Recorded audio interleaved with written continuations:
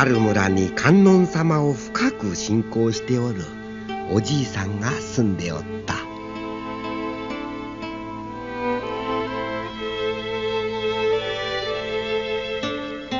おじいさんはある日のこといつものように観音様にお参りを済ますと観音堂の石段を降りてきた。すると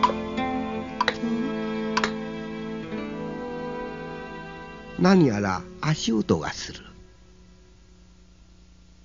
はて変じゃな。確かに人の足音が聞こえたんじゃが。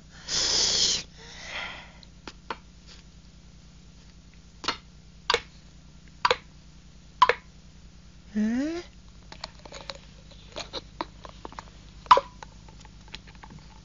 なんじゃひょうたんの転がる音じゃったか。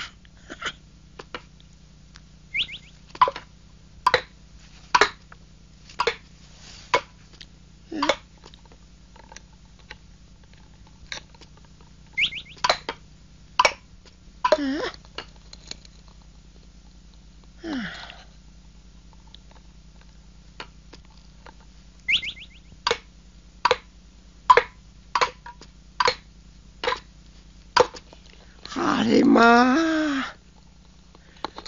このひょうたん一人で勝手に動くだか。なんとも珍しいひょうたんじゃな。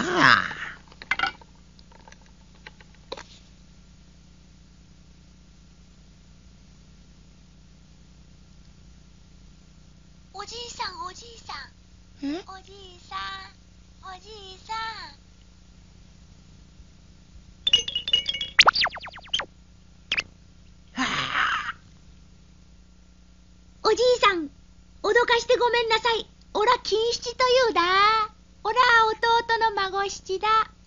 おおおおかわいらしいわらしたちじゃ。おじいさんおらたちをひょうたんと一緒におじいさんの家へ連れてってくれろ。ああいいともよ。お前たちのようなかわいらしいわらしは大歓迎じゃよ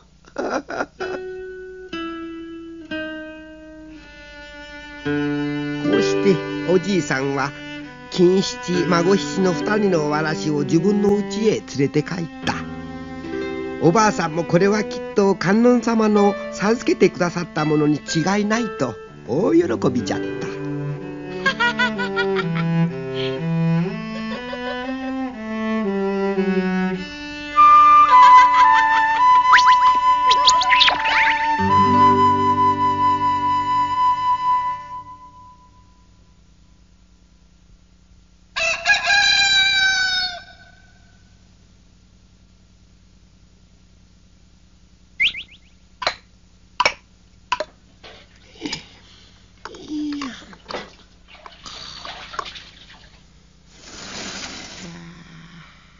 あれまあ、こりゃ一体どうしたことだ？ご飯の支度ができておる。ばあさんばあさん、見てみ。ありゃま、なんてごちそうなんでしょ。白いご飯にお魚までついておる。おじいさんおばあさん、おはよ金七、孫七。すると、これはお前たちがこしらえてくれただか？じゃが、こんな米や魚どこから持ってきただ？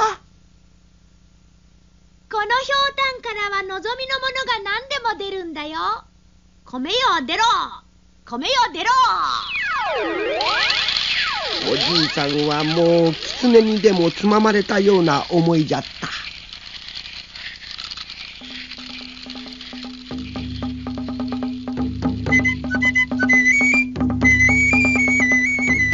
それからしばらくしておじいさんの住んでいる村からは少し離れた町の天神様で大きなお祭りが行われた。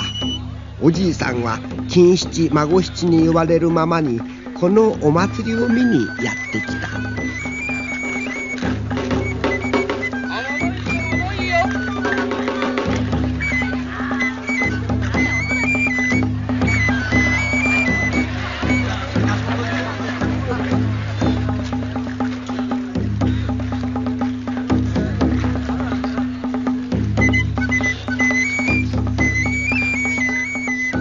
社のそばに黒山の人だかりがしておった。さあさあ富くじだよたった一部で千両の宝の山が当たるよ。おじいさんおじいさん買うてみれ。買うてみれ。ん？そうか。よしそんなら一つ買うてみるか。さあさあどなたかいないかね。たった一部で千両の宝の山が当たるよ。よしおらが買うだ。はい来た。今からこの男が目隠しして投げる矢がどこに当たるかお慰みだよ。それ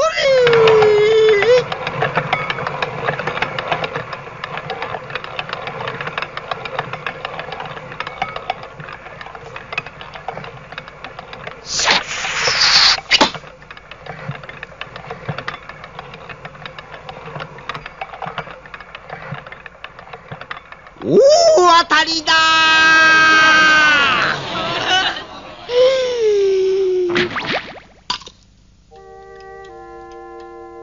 こうしておじいさんは富くじは当たるわ。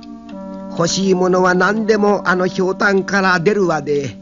その後何不自由なく暮らしておった。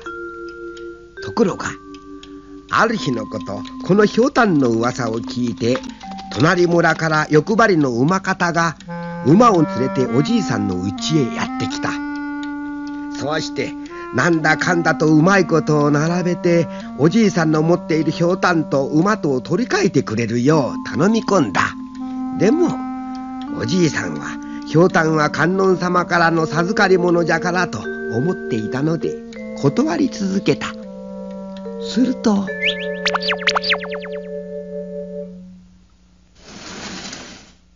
おじいさんちょっと来てくれろ。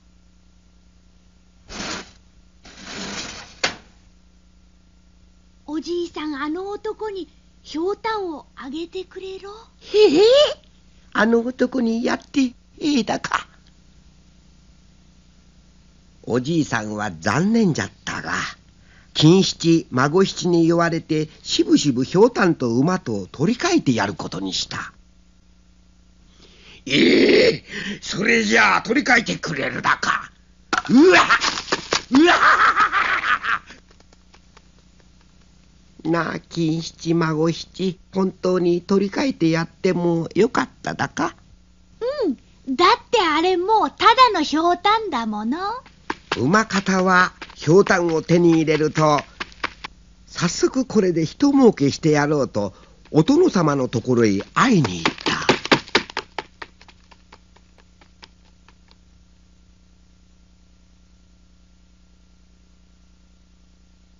お前か不思議なひょうたんを持っているというのは。へいさようでございます。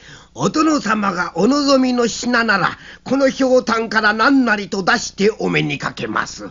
その代わりこれがうまくいきましたらえへへへご褒美をたっぷりと。えーよしよしわかった。ちょうど良い馬を一頭欲しいと思っておった。馬を出してくれ。えい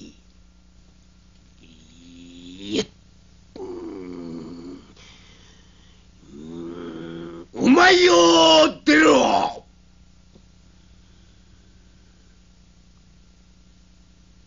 うん？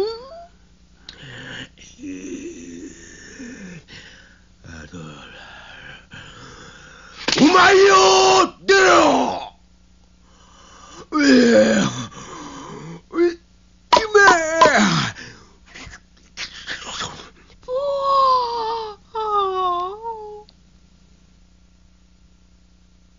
いくらひょうたんを振ってもひょうたんからは何も出てこなかった。おかげで馬方はお殿様から大目玉を食らった。一方あのおじいさんじゃがおばあさんと一緒に金七孫七の二人を育てながらいつまでも仲良く暮らしたという。ことじゃった。